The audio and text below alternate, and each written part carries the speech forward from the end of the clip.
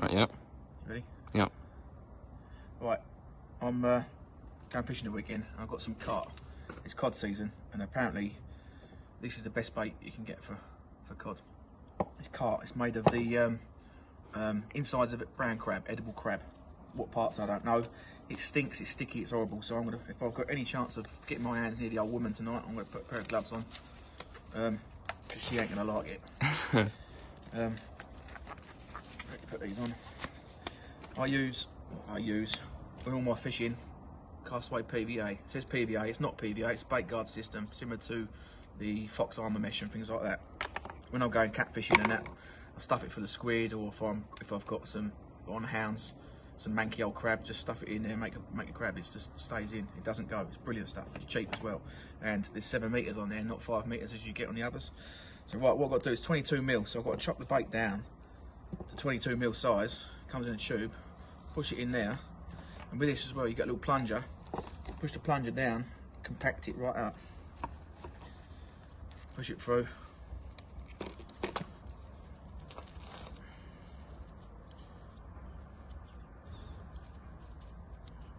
tie it off. One bait, but I like to do it, wrap it twice so it lasts a bit longer. So push that back through, put it back in a second time. Plunger. That's now double, that's now double wrapped. It's horrible doing my gloves, can't feel nothing. That is now a lovely bait. It's double wrapped. This is what a single wrap one looks like. You can still see it through. So you can tell the difference. That's why I like to double wrap it. It lasts longer because this does wash out quite quick. So that's what I do. Do another one quickly. Make sure you tie a knot back in the, the end of your thing. You, can use finger bandage and everything like that. But when you buy a finger bandage from the shop, it might be cheaper, but you don't get it in the tube and you don't get this. It does help. So whack that back in there.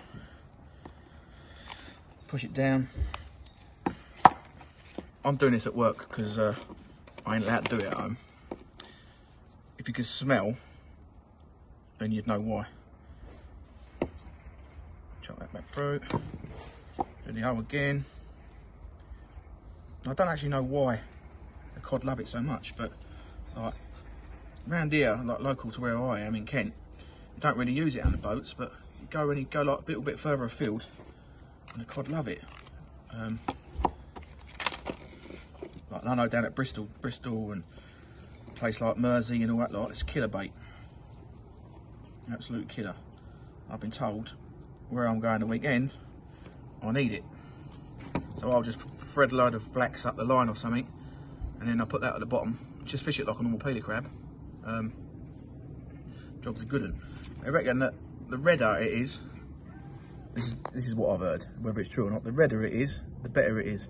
You can see there's all the bits of crab in there, and it's oily. It's it, I bought it as a block. Um, I think they can buy them from the tackle shop in like tubes that are already in 22 mil tubes. So you just push them out and then push them straight in, uh, in, in, in, into this. But obviously it's a dearer way of doing it. There's like a kilo block there. Um, it, it, can be quite expensive buying it through the tackle shop, but it's all these little bits. I'll just shove them, shove them in there.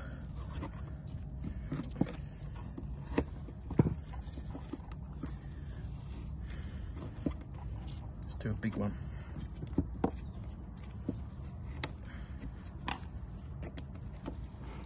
Push it down. Wow, I can really smell that now. Smell it? Stinks, doesn't it? That's probably too big, but That's massive. been a bit been a bit greedy there. But I'm just showing you what I can do with all the scraps. It's not wasted. None of it will be wasted.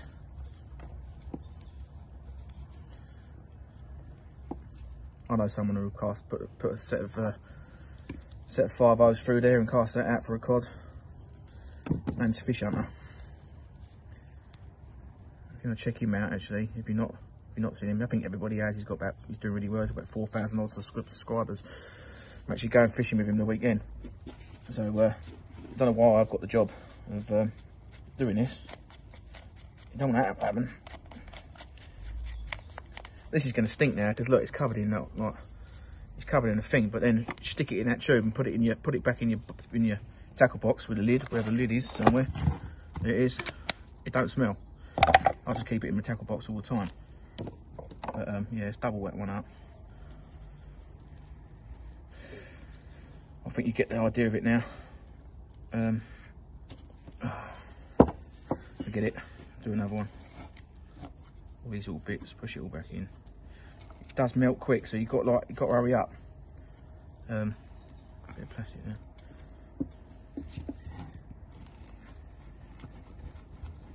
Do as soon as you've done it, get it in the freezer quick, because you just got to keep it cool.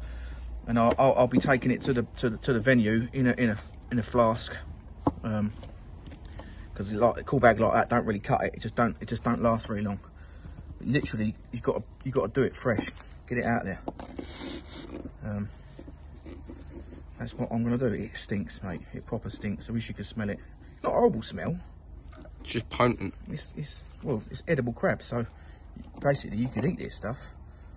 Not that I'd want to, but that's all it is. There's nothing. Um, it stinks. It smells similar to like a like like like a carp bait, like a I don't know, like a like a squid and krill boilie or something like that. It's just it's just that funny smell. Oh, it's starting to defrost now. Yeah, you can see it is.